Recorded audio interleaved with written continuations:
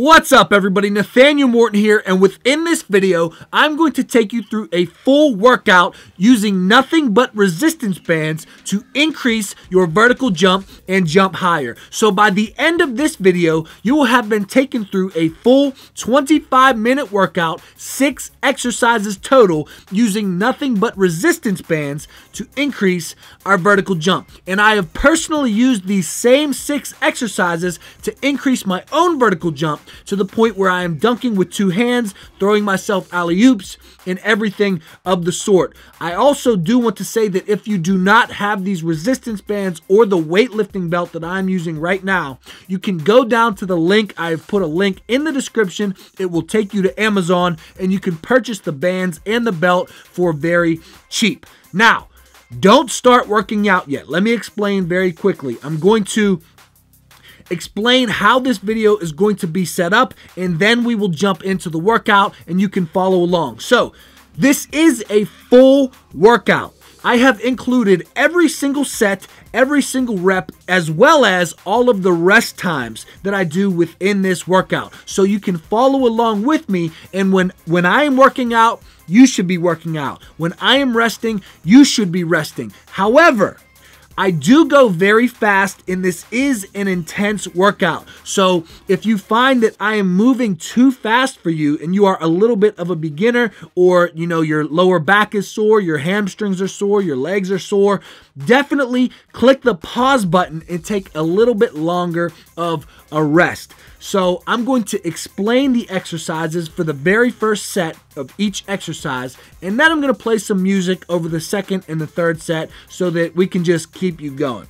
All right, let's jump into the video and let's increase our vertical jump. So as you can see here, I'm taking a little bit of a rest. We will start the video as soon as I get up and I start going. So for yourself, definitely get your get your bands ready, get your belt ready, and get ready to go. Here we go. So as you can see in that little demonstration before, I attached the bands to these miniature dumbbell racks here, and I am placing them around the belt and then closing the belt. These are called band jumps. Now, if you do not have miniature dumbbell racks at your disposal, you can simply get two 80 to 100 pound dumbbells and attach your bands to the dumbbells. It works the same way. Just attach your bands to two things and make sure you can have enough room to jump. So what I am doing here are band jumps. You are going to do three sets of five. Three sets of five of these band jumps. And then you are going to, after each time you do five reps, you're going to take the band and the belt off and you are going to do five normal reps, just like you see me doing here. So it's kind of like a superset. Five band jumps and then five normal jumps without the band and without the belt. All right, we got two sets left. Let's jump into the action.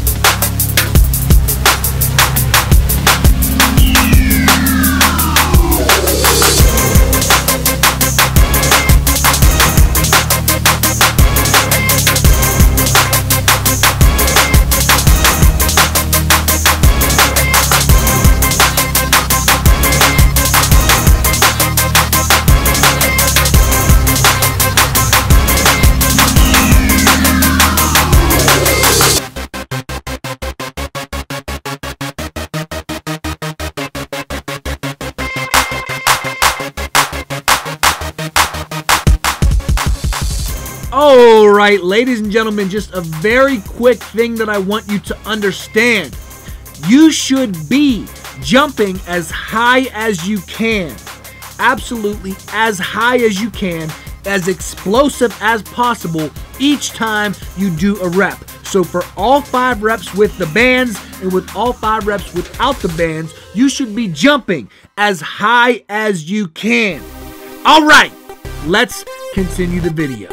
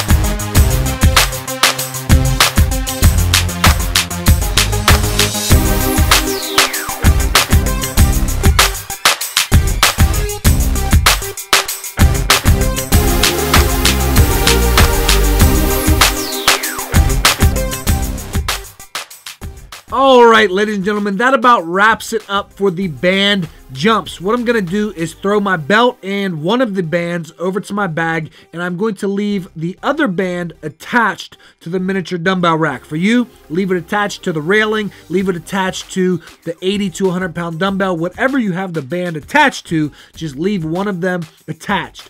This next exercise is called a band pull through. And what you're to do is you're going to pull the band to where it's very tight, extend it all the way, walk forward.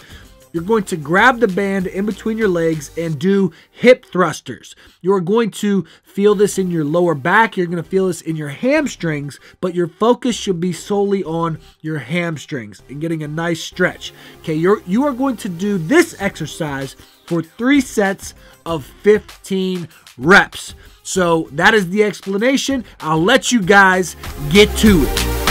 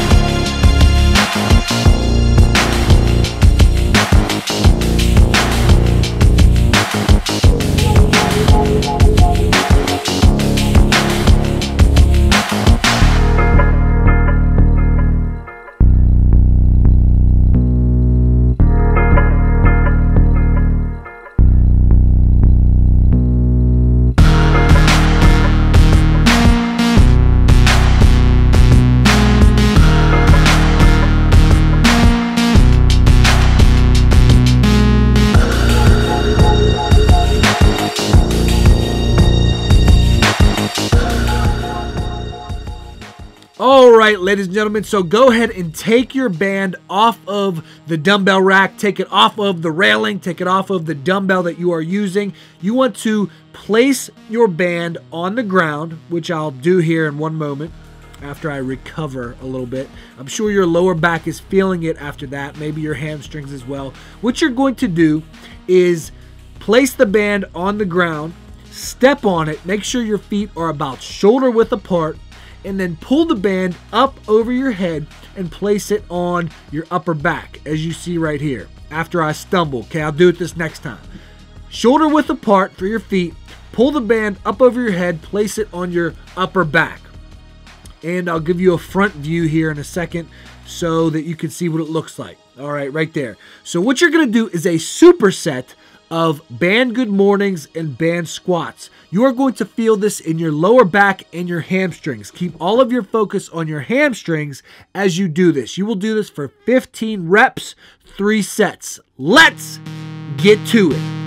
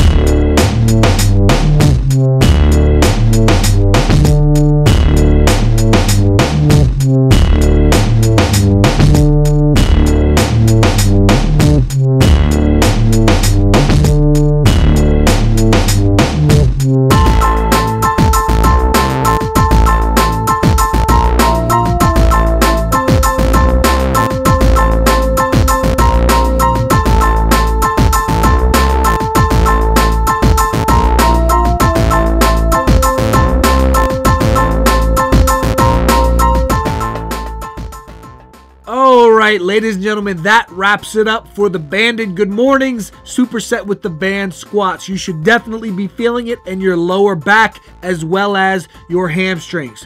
Where I went is to get a dumbbell, so definitely go ahead and get yourself a dumbbell. I'm going to get a 50 pound dumbbell. I suggest that you get a 20 to 30 pound dumbbell. The 50 pound dumbbell was a little bit too heavy for me, so you might want to go lower. But I'll come back here in a second. Make sure you get a good rest. What we are going to do next are kettlebell, banded kettlebell swings. So we are going to put the band on exactly like we had it for the band good mornings and the band squats, but we are going to do kettlebell swings. Well, we're going to be using a dumbbell, so I guess we can call them dumbbell swings. So here I come with my dumbbell. I'm going to set it down. I'm going to get my band on. Same way, feet shoulder width apart and pull the band up over your head and place it on your upper back. Once you do that, go ahead and grab your dumbbell and you are going to do three sets, five reps. Make sure these are explosive. Make sure these are explosive. All right, so it doesn't look like I am too explosive there, but I promise you I am. So five sets, three sets, five reps each explosive dumbbell swings. Let's jump into the action.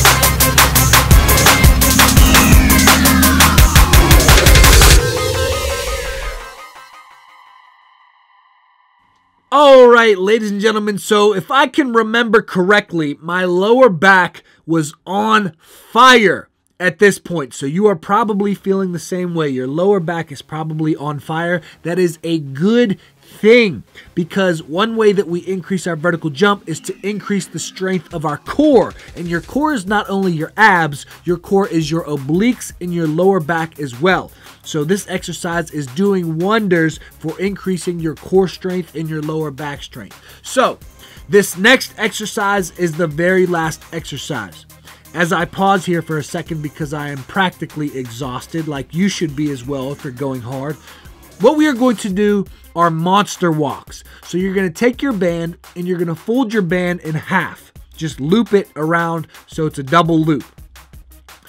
You're going to put your band around the outside part of your ankles. So just put it around your ankles and then you're going to stand up and we are going to do monster walks. You're just going to do, um, we'll say about, I'm not sure how many steps I did. I just went down and back in this room for three sets. So it was probably around 10 steps down and 10 steps back. But as you can see, you squat down, you make sure your feet are pushing out.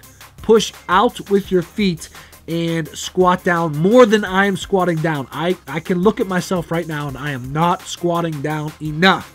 So definitely squat down more than I am and increase your vertical jump higher than me because I'm not doing this exercise correctly.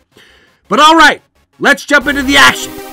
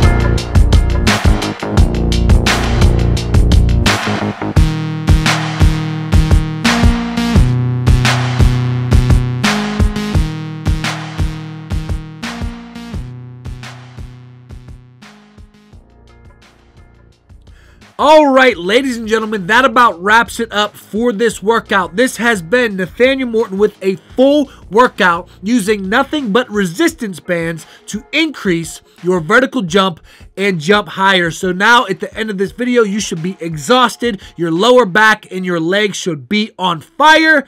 And by the time that you rebuild your legs, you will be able to jump a little bit higher. Make sure that you subscribe to the channel and click the bell so that you get notified for when I post new videos. Make sure you share this if you know somebody else who wants to increase their vertical jump.